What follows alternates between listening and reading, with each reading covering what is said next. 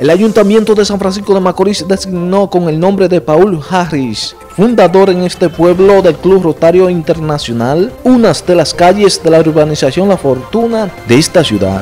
La información fue ofrecida por Daniel Canela, director de tránsito del ayuntamiento. En esta ocasión la sala capitular le puso el nombre a esta calle de La Fortuna con el nombre de Paul Harris, quien fue el primer presidente del Club Rotario Internacional y el Club Rotario fue el que donó ese pequeño parque que está a la entrada de La Fortuna.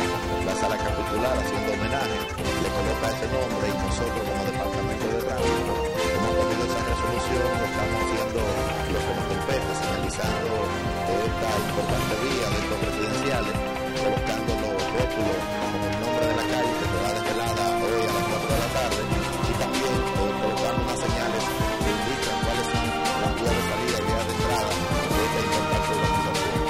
NTN, su noticiero regional.